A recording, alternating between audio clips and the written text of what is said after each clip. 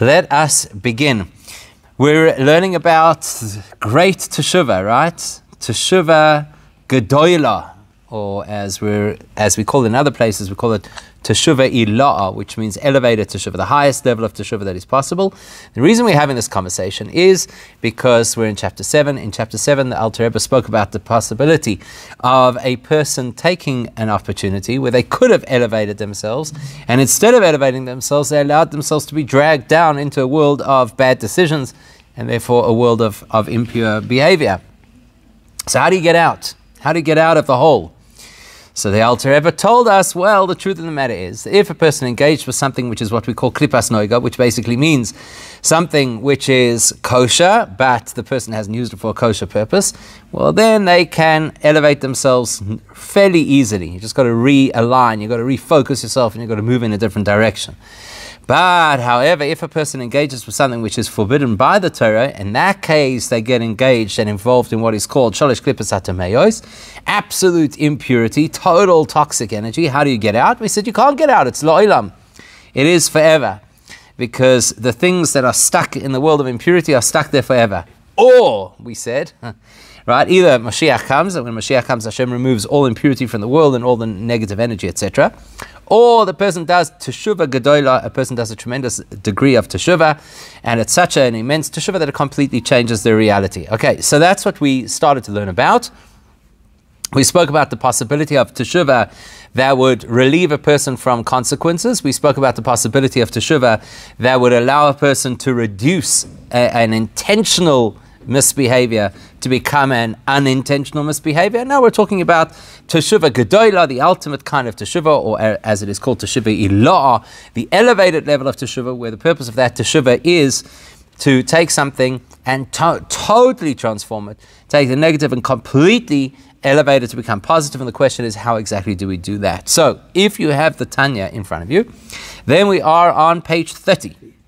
Page 30 is using uh, somebody says I sound very bad. Is that a personal thing? Is that a personal thing? Uh, it could be. It could be that it sounds bad because uh, the internet sometimes does that when it is load shedding. And the internet is not as strong as it is supposed to be, even though we have a good connection. But sometimes the service provider does not have such a good connection, and then we're stuck. So we will do the best that we can do. We'll do the best that we can do. Okay, if you have the Tanya, it is on page 30. I'm going to stick it up on the screen as well. And um, I'm going to go back a little bit. I'm going to go back to where he introduced the idea of this tremendous teshuvah that can completely transform and elevate our situation, our circumstances. And we're going to, because we haven't fully unpacked it, so now we're going to fully unpack it. Okay, that's what that's what we're going to be doing now. So if you're looking at the Tanya, it's on the screen. It's easier because it's going to be the uh, the second last line. If you're looking in the in the Tanya itself, it must be about what three, six, nine, ten lines from the top of the page, and the first word on the line is sheya'aseh. Sheya'aseh teshuva gedola. That person will do teshuva gedola. He'll do great teshuva. What is great teshuva? Teshuva gedola kol kach. If a person does teshuva that is so extreme and so incredible to the extent that behavior that a person had done deliberately, knowledge, but knowingly, knowing that this is against what Hashem wants, and I'm still going to do it anyway. So it's possible for a person to do such a powerful teshuvah that turns those actions from being these uh, blights on a person's on a person's history, like, you know, oh my gosh, you did these terrible things, and it could become, Zochios could actually become credits. So imagine, imagine if you could do this with your bank. You could go to your bank manager and do teshuvah, and as a result of the teshuvah, not only would they cancel your debt, but every uh, every amount of debt that you're in, they would turn into a credit of your on your account. Hashem is more forgiving Correct. Correct. Exactly. Not only is Hashem more forgiving than the bank manager, much more importantly, Hashem is not bound by circumstance. So if I'm a bank manager, at the end of the day, either you have money in your account or you don't have money in your account. I'm bound by that reality. Hashem is not bound by the reality. Just because a person did something that dragged them down into a bad place does not limit Hashem. The person does not have to be stuck there. Hashem can give them the opportunity not only to rehabilitate, but to transform that negative to become positive. How? Shehi teshuva mi ahava. So the first major clue that we get to what this great transformational teshuva is is the fact that it is teshuva may ahava, teshuva that is motivated by love. Okay, so right now that tells us that there are two possibilities of what motivates teshuva. There's the most common motivator, and then there's the more mature motivator. The most common motivator of teshuva is fear. Why do most people do teshuva? I'll tell you an interesting story, right? So, uh, once had an opportunity, not so long ago, to catch an individual who was employed by us stealing, right? so, I caught him red handed. So, he panicked, completely panicked, right? So, that's what's that's like the classic teshuva that people have. The person's not afraid of having done something wrong. They're afraid of the fact that someone's going to catch them doing something wrong, and then there'll be a consequence. Now, in a very, as we discussed, in a very immature level, the consequence could be, oh my, I'm going to be punished. And in a much more mature way, the consequence could be, oh my, I'm losing a relationship because of this behavior. But either way, it is motivated by fear. The deeper, more advanced, more profound kind of teshuva that a person should look to achieve is teshuva mi'ahava. Teshuva that is motivated by love. Now we have to ask ourselves a question. Why would love drive teshuva? How does this work? And must understand, it makes complete sense logically that if a person is afraid of something, that will prompt them to say, I'm going to change. I'm sorry. I didn't mean to do this. I'll do it differently next time. You have my word. I'll, I'll never. Makes sense. But how would love motivate a person to do teshuva? It doesn't sound right. If, if you have love, your relationship is not teshuva. Okay, I have to be careful how I say this because some married couples will tell you it's because it, you love your spouse. That's why you're always doing teshuva. right? But we got to understand how does love produce teshuva? It doesn't sound right. Teshuva is repair work. Love sounds like the motivator for having it in a healthy place in the first place without having to do repair work. Doesn't that, doesn't seem to add up. So in order to explain this, what we have to do is understand what love is. You know, in modern terms, actually, not even in modern terms, probably since the Renaissance, more has been written, whether it be in novels, in poetry, in song, or in movies, about love, probably more than any other subject. And the funny thing is, most people still don't know what love is. And maybe that's the reason why there's, you know, it's got this mystique and, and therefore it becomes the content of so much of the artistic community because people don't know it's like an elusive concept what is love. But there's a there's a whole profound insight into in the mechanics of love to understand what love is. And if we don't understand what love is then it becomes really difficult for us to imagine that love could be associated with teshuva and the truth is it would become difficult for us to proper, properly experience love if you don't know what you're looking for it's unlikely that you'll find it. So, my favorite example the same person in the span of five minutes or less could make the following two statements and believe that they're both accurate. Statement number one I love my children. Statement number two I love soccer. How could you possibly use the same word to describe the emotional attachment that you have to your children as to describe a particular sport? Especially seeing as most of the people who say, I love soccer, what they actually mean to say is, I love sitting on my couch with a beer while there's soccer happening.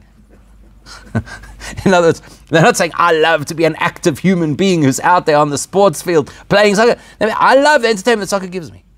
So, how is it possible that we could use the same descriptor for a deep emotional attachment to the most important people in our lives as we'll use for something absolutely superficial? Must be that we're not quite sure what love is. So, because we live in a world where we think that love is all about either hearts and rosy colored glasses and everything's fantastic and the music's playing in the background, or we think that love is just about anything that I happen to be attracted to or enjoy. So, that's why we don't understand how love can motivate teshuva. So, let's ask ourselves a question. And it's an interesting question. We're going to come from a very interesting perspective. You may recall that in chapter 1, one of the things, and it was a complete detail, it, it, wasn't a central part of the chapter, it was like a sidebar of the chapter. But one of the things that we said was that, and we were talking there in the context of the nefesh bahamis, the animal soul, but it's still valid right across the board.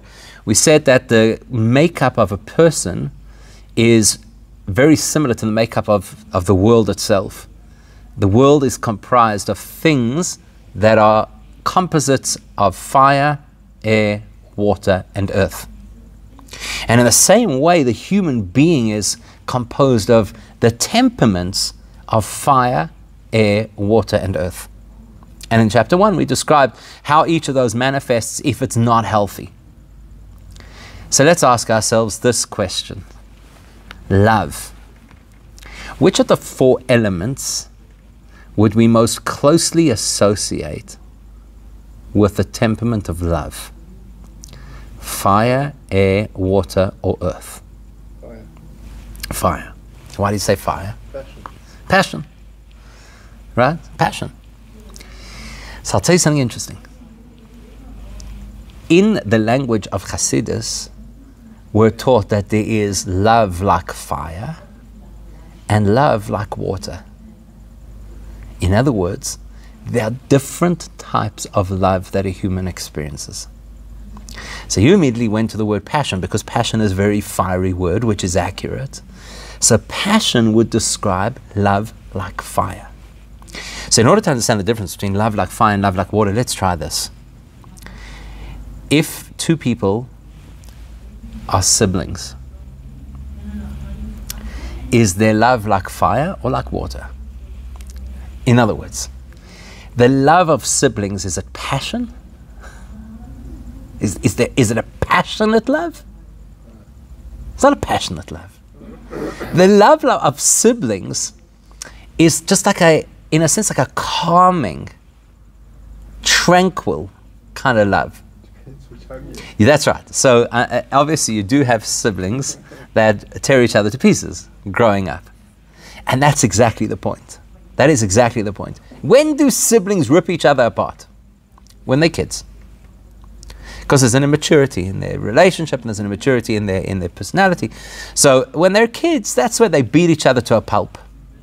But when siblings grow older, you can have siblings who live in different parts of the world and it doesn't weaken their love for each other.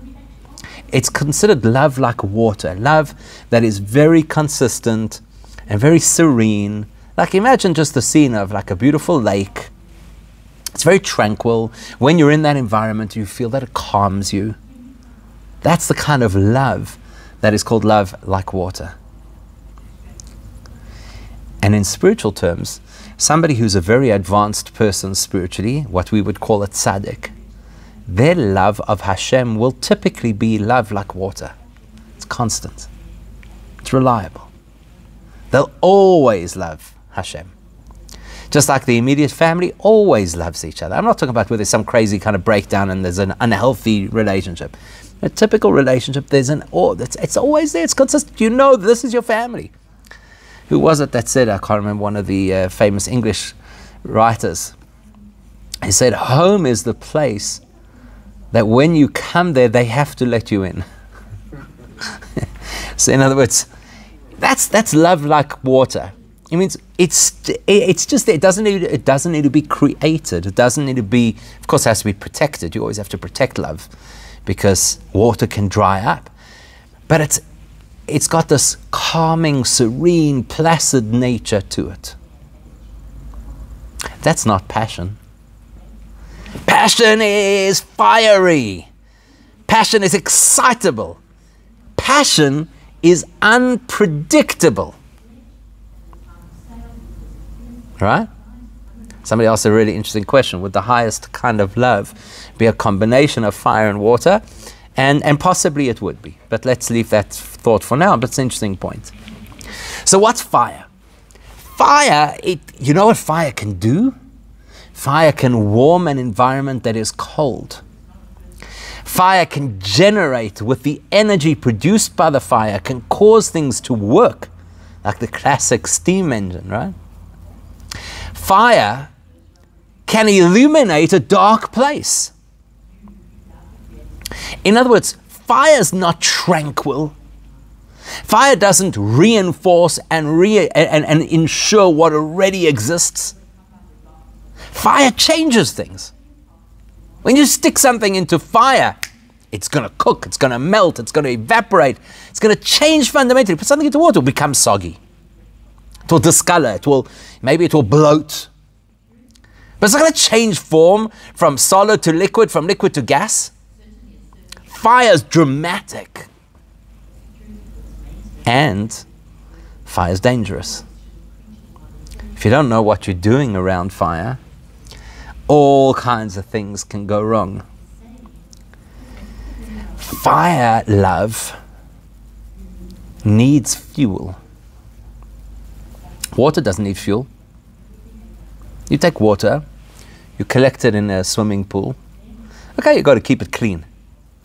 But it doesn't need fuel. It doesn't need something inside the water in order for the water to continue existing. Fire needs fuel. If there's nothing to burn, it doesn't burn. If it's not given oxygen, it cannot live. So, which relationship is fire love? Family relationships are, in the, in the most part, water love. Marriage is fire love. What does it mean it's fire love? You, it's unpredictable. You don't know. It's, it's, it's dynamic, it's alive. The same person who you could have this passionate attraction to one day could be the same person you want to throttle the next day. Yes, I know. It can happen to your kids also at, at, certain ages. You remember, uh, you know who I'm talking about when he gave that golden anniversary speech Shul. And he said, in 50 years of marriage, they never once contemplated divorce. He says, but murder many times. because it's fire. And in order for the fire to continue to burn, there has to be fuel. You don't have to keep investing in the relationship with a sibling in order for them to be your sibling. They're always your sibling. Of course, you can invest in how much you appreciate the love and bond between you. But if you don't invest in it, it's not going to go away. It's just going to become water that's polluted. But it will still be there. So you leave your swimming pool and you don't put in any chemicals. What's going to happen? The water will remain water, but it will become disgusting. But if you don't feed fire, the fire goes out. The love of marriage, if you don't feed it, dies. So it's fire love. Here's the other interesting thing about it siblings, it's natural for siblings or parents and children to love each other. It's natural. It's not natural for spouses to love each other. well, think about it. Here's a person who grew up in a different environment, in a different family, different sets of values, had a different experience of life for whatever amount of years it was until you met for the first time. There's nothing natural about the fact that you get together and you decide now you're going to become the most important person in my life and we're going to build a family together and the whole legacy of generations to come is going to be built on this. It's not natural. That's why marriage, you know, you know what they say. If you're a public speaker, I don't know how it is in other places, but certainly on the Jewish circuit, there are two topics that will always draw a crowd. The one topic is why do bad things happen to good people? The other topic is relationships. The expert speakers will tell you they're both the same topic. Marriage, why do bad things happen to good people? right? So, why, why do people always come flocking? Why are people always reading books, watching the experts on TV, listening to podcasts, going for therapy? Why? Because marriage is not a natural situation. It's not a natural situation. You got to feed that fire all the time. But what does the Torah say about marriage? all the way back at the beginning of creation, the Torah tells us, Al Kain Yazov Ish Esaviv Esimoy V'dovak Be'ishtoi. Therefore, a man will, uh, will leave his father and his mother and cleave to his wife, and they'll become a single entity. That means to say, the power of the fiery love is that it can remodel who you are, just as in the same way as fire can turn solid into liquid and liquid into gas. So the fire of marriage remodels who the person is, totally recenters their world. So you've got somebody who was looked after by their parents for 20, 30 years of their life, now suddenly moves altogether and says, Listen, stay out of my life. I've got somebody else. And it is possible to have a love in marriage that is more deep and intense than the love you have in your own immediate family. Why? Because love of fire is a love that says we need to connect. Love of water says we are fortunate that we are connected. Love that, like fire, says we need to connect. There's something very, very meaningful and valuable in our, in our relationship and our connection. So therefore, we need to connect. The room is cold, we need fire. The room is dark, we need fire. We need this.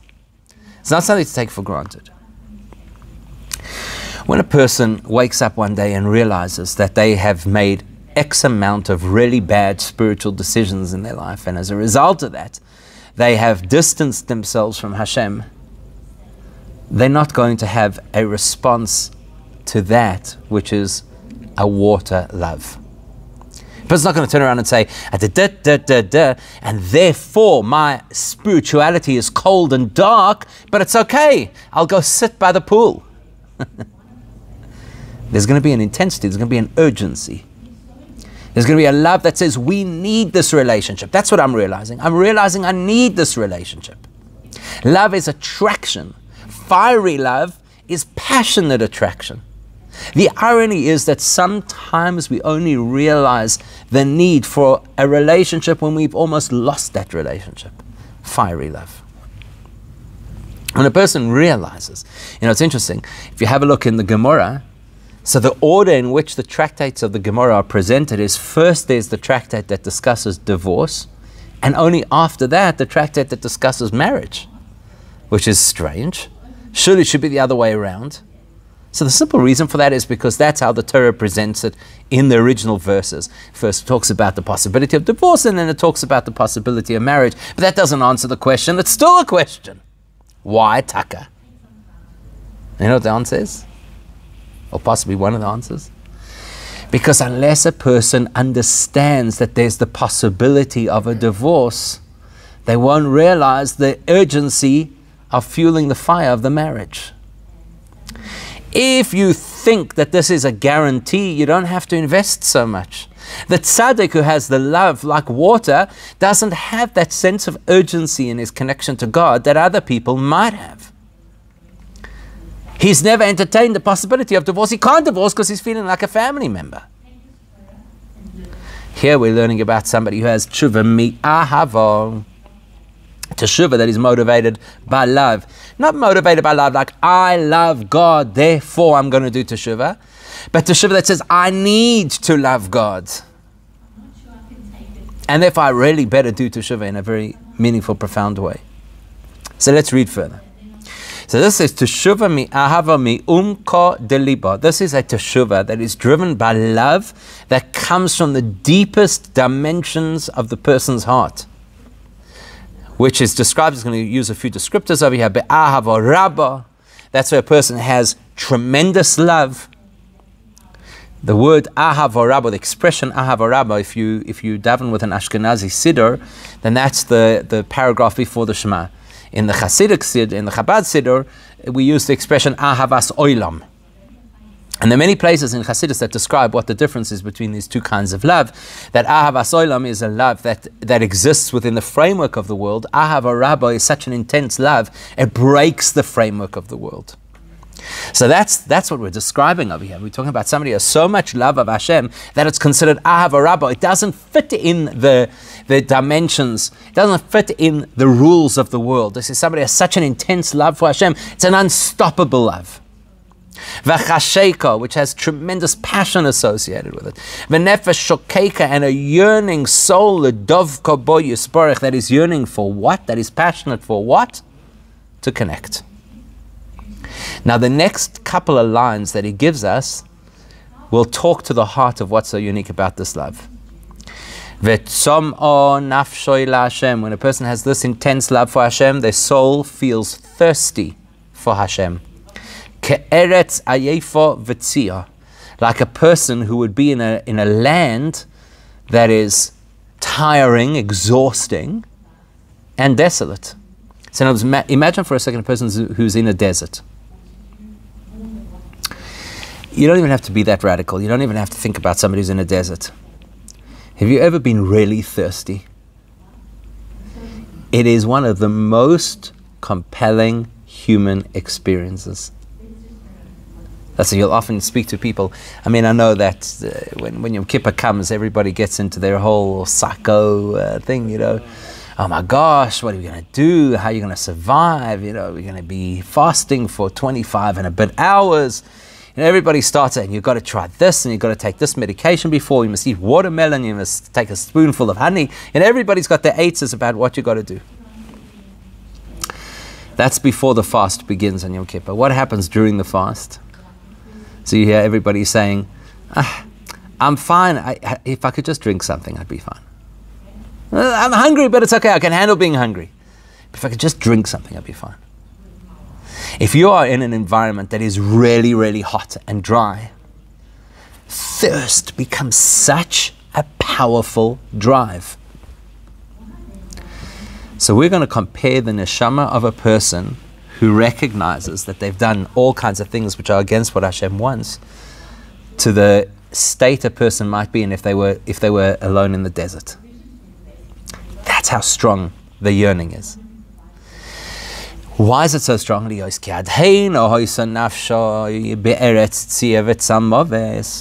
reason that the person has such a compelling, passionate love towards Hashem, such a thirst for Hashem is because the person suddenly realizes that they're in a desert. Sitra achra. They're in the realm of those things which, to borrow the term we used in the previous chapter, they're from the other side. There's the side of holiness, and this is Sitra achra, the other side that is unholy.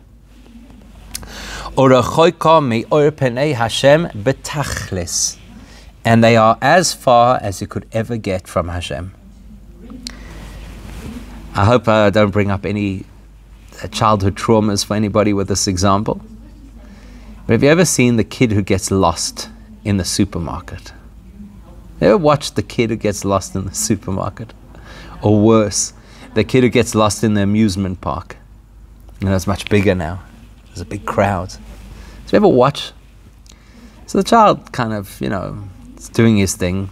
It's probably daydreaming anyway. Doesn't notice that his mother's walked off. Turns around, and she's not there. You will watch the face of that child. They go from this momentary blankness, like what just happened, to complete terror in less than a second. And it's in that terrified state that that child will do the most ridiculous things. They'll start running and they'll start screaming and they'll, you know, they'll become hysterical and they, they'll do anything that they could possibly do to, to find their mother. And that's when you get crazy things happening. Kids running into the street or, God forbid, going with the wrong stranger or whatever the case is. That moment of realization, where a person realizes that they're in trouble, that's a very important and very defining moment. You know, I was once talking to somebody who was swimming out in the KZN coast, and they were swimming.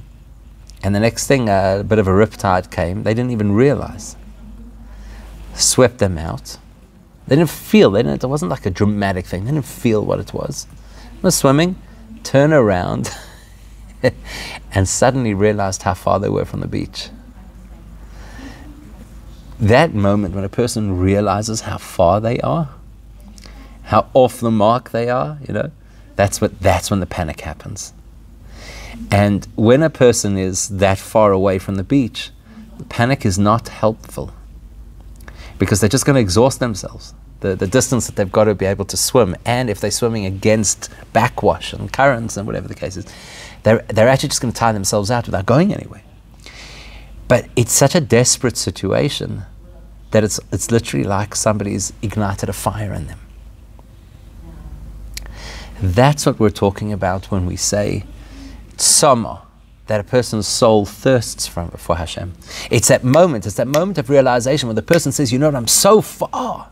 How do I ever get back? That child in the supermarket thinks he's never going to see his mother again. That person who's been swept out thinks he's never going to make it back to shore.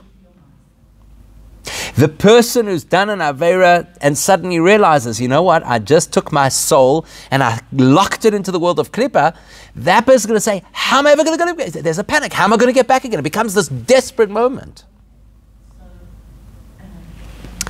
Here's another example, because that still sounds like fear.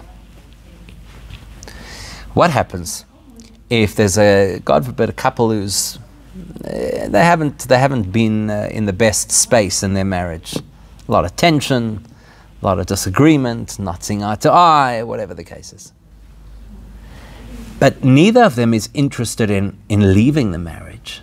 They've just become, you know, they've become jaded, they've become dis, disaffected, they, they're not interested. And one day the one turns to the other and says, I'm leaving. I, suddenly there's, a, there's an urgency, there's a desperation. I'll do anything. I remember when I wasn't even married yet, so you know, it's always funny when people who are married come to Bochrim for marital advice. It's like a bit of a strange thing, you know. Uh, not, not something I would recommend, incidentally. But I remember clearly, I was I, I, literally, I was, a, I was young, I was a boch, I knew nothing about relation, nothing about marriage. And there I am, and this guy, his wife said, Zehu, it's over, she's out. And I remember his desperation. I remember he was pacing up and down and saying, okay, this is what I'm going to do, and this is my strategy, and this is what, you know, to, to, to win her back. This is what we're talking about here. Like the Pasuk says as we're about to read. My soul thirsts for you, Hashem. Your soul doesn't thirst if you're living in an oasis. The tzaddik is living in the world of water. He has love of Hashem, which is like water. He never feels desperation, never feels urgency, so he never feels passion. But a person who's done something which they shouldn't have done, that's the person who feels passion. That's the person who feels urgency. That's the person who gets completely worked up with this incredible energy. I've got to get back to shore. I've got to get back to my family.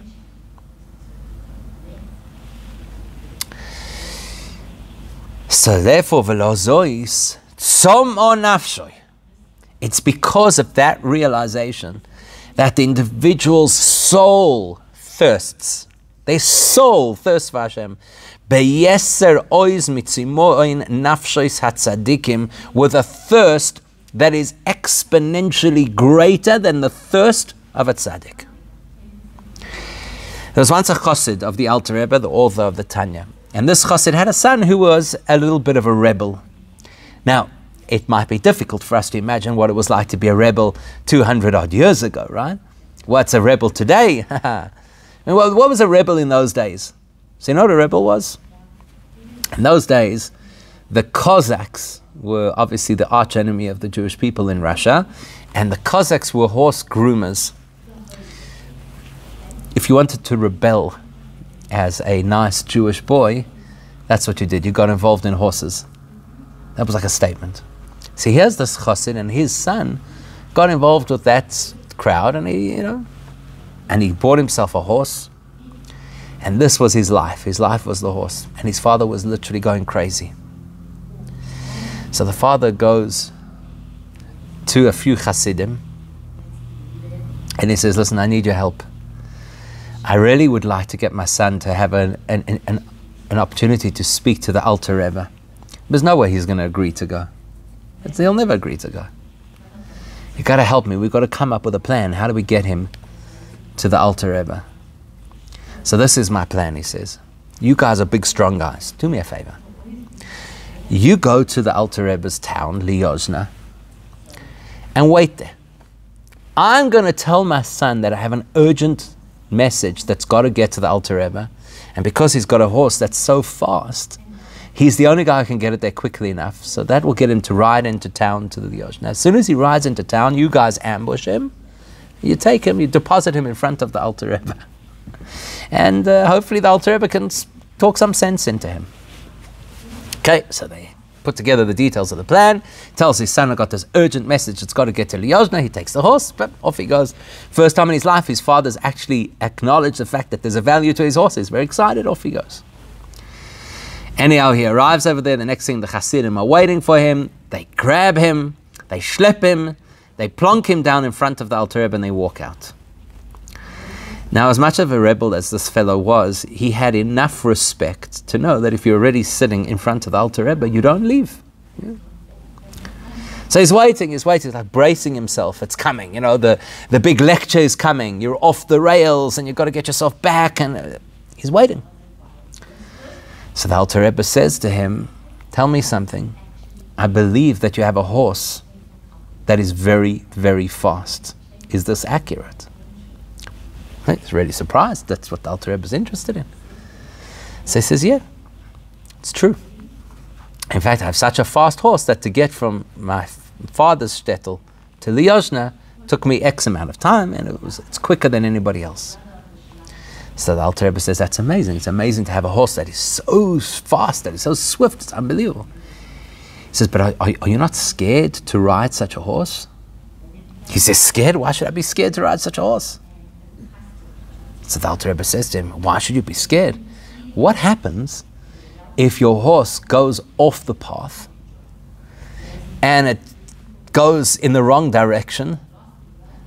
And because it's such a fast horse, before you know it, you're going to be who knows where, deep in the forest, stuck here. Oh, the, the boy thinks about it. He says, You know, I, I never considered this.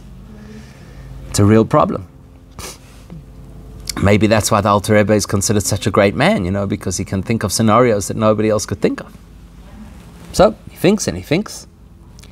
And then eventually he says to the Alter Rebbe, he says, the answer is simple. Now it sounds a lot richer in Yiddish. He said, As men chaptzech, which means when you realize that you're in the wrong direction, you turn the horse around. And because it's such a fast horse, before you know it, you'll be back where you need to be. What's there to be afraid of? So the Alter Rebbe nodded, and the Alter Rebbe said, Yeah, Azmen Chaptzech, which means that's true, but you have to realize that you're deep in the forest. You have to realize. You said when you realize you get back, you have to realize. And then the Alter Rebbe repeated again, Azmen Chaptzech. And then he repeated a third time, Azmen chapzech. And at that point, this young man chapzech. and he realized where he was and what he had done with his life. And it's a very powerful illustration of what we're talking about over here. Because we live our lives riding on this nefesh abahames of ours, on this animal soul, which is very powerful and very fast. When it decides to go down a particular path, it goes down that path quickly and with energy and with power. And very often it's the wrong path. And that's how a person lands up in all these klippos, not because the person is bad, but because the horse that they're riding runs in that direction. But when a person realizes, oh my, I'm sitting here wallowing in spiritual mud, far, far from home. As then the power and the energy that drives a person back home is more intense than the energy of any person who's never left home. That's Ahava. That's Tshuva mi Ahava. That's this incredible, incredible teshuva that is totally transformational, where a person realizes, I want to have that love. I want to be in that place. I want to have that connection. So, one of the classic examples of this is a very well known story in the Gemara about a man called Elazar ben Durdaya. And the story goes that he was somebody who got involved with every kind of illicit pleasure that the, that the Torah forbids.